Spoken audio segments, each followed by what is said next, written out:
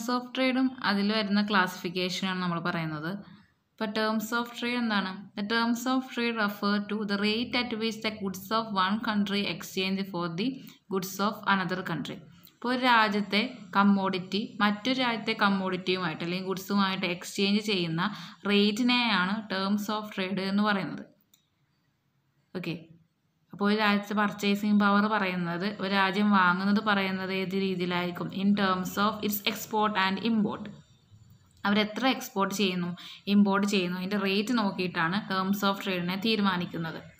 Okay അപ്പോൾ terms of ട്രേഡിൽ പല classification ഉണ്ട്. ഇവിടെ ഏഴ് ടൈപ്സ് ഉണ്ടെന്ന് പറയാം terms of ട്രേഡിൽ net barter terms of trade gross barter terms of trade income terms of trade single factor terms of trade double factoral terms of trade real cost terms of trade utility terms of trade okay പിന്നെ one by one ആയിട്ട് പറയാം കേട്ടോ അപ്പോൾ first one net barter terms of trade net barter terms of trade ന്റെ formula N is equal to P X by P M N is equal to P X by P M ഇപ്പോൾ economics ആയിട്ട് Taussig ആണ് net barter terms of trade introduce ചെയ്തിട്ടുള്ളത്. ഏത് ഇയറിൽ nineteen twenty സെവനിൽ ഇവിടെ P X എന്ന് പറഞ്ഞാൽ price of export P M എന്ന് പറഞ്ഞാൽ പ്രൈസ് ഓഫ് ഇമ്പോർട്ട് ഓക്കെ അപ്പോൾ P X by P M price of എക്സ്പോർട്ടിന്റെയും price of ഇമ്പോർട്ടിന്റെയും റേഷ്യോ ആണ് net barter terms of trade എന്നാണ് ടോസിങ് പറഞ്ഞിട്ടുള്ളത്.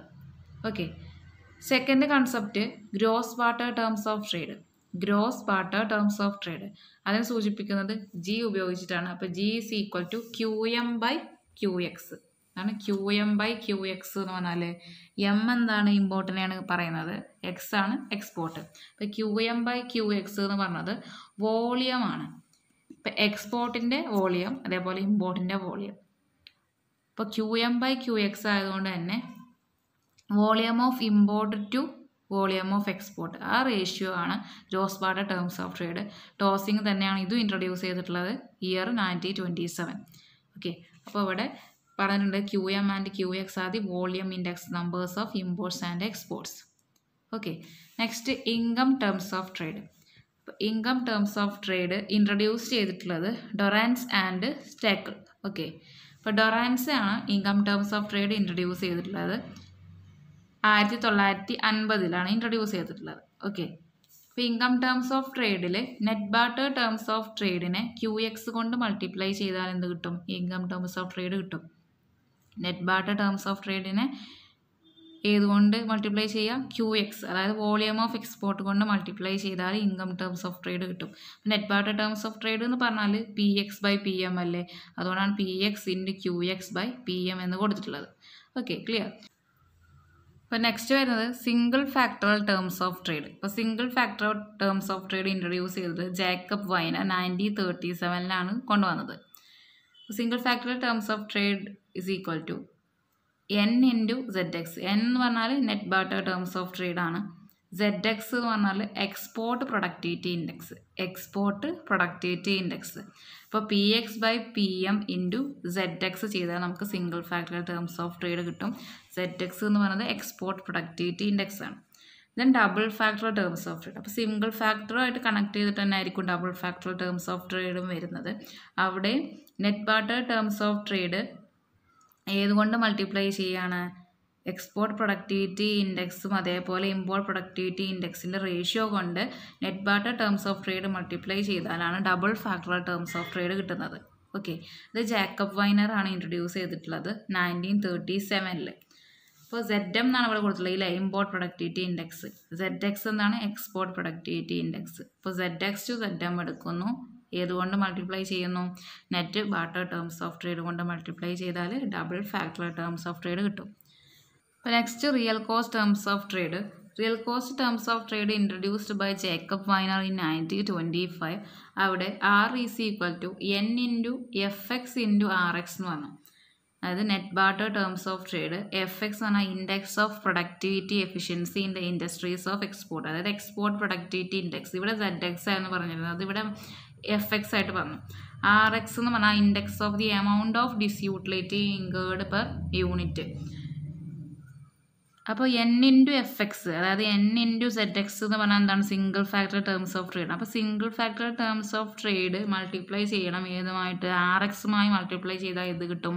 Real cost terms of trade കിട്ടും. അപ്പോൾ ആർ എക്സ് എന്ന് പറയുന്നതാണ് ഇവിടെ കൺഫ്യൂഷൻ വരുന്ന ഒരു ഭാഗം. അത് എന്താണ്? Index of the amount of disutility incurred per unit okay അതായത് ഡിസ് യൂട്ടിലിറ്റി ആണ് ഇപ്പം നമ്മൾ എക്സ്പോർട്ടിന് വേണ്ടിയിട്ട് എക്സ്പോർട്ടിൽ നിന്ന് നമുക്ക് വരുന്ന രാജ്യത്തിന് വരുന്ന ഡിസ് യൂട്ടിലിറ്റി അപ്പോൾ എക്സ്പോർട്ടിന് വേണ്ടിയിട്ട് നമ്മൾ ചിലവഴിക്കുന്ന ലേബേഴ്സ് അതേപോലെ എക്സ്പോർട്ടിന് നമ്മൾ നല്ല സാധനങ്ങൾ എക്സ്പോർട്ട് ചെയ്യുമെന്നൊക്കെ പറഞ്ഞു കേട്ടില്ലേ അതൊക്കെ ഡിസ് യൂട്ടിലിറ്റിയാണ് ഒരു രാജ്യത്തിനകത്തേക്ക് വരുമ്പോൾ ആ രാജ്യത്തിന് വരുന്ന ഡിസ് യൂട്ടിലിറ്റിയാണ് അതാണ് ആർ എക്സ് എന്ന് പറയണത്. അപ്പോൾ ഈ single factor terms of trade ഇവിടെ കൺഫ്യൂഷൻ ആണ്. ഇവിടെ എഫ് എക്സ് എന്ന് പറയുന്നത് എന്താണ്? എക്സ്പോർട്ട് പ്രൊഡക്ടിവിറ്റി ഇൻഡെക്സ് തന്നെയാണ്. അപ്പോൾ N into F X into R X ചെയ്താൽ real cost terms of trade കിട്ടും.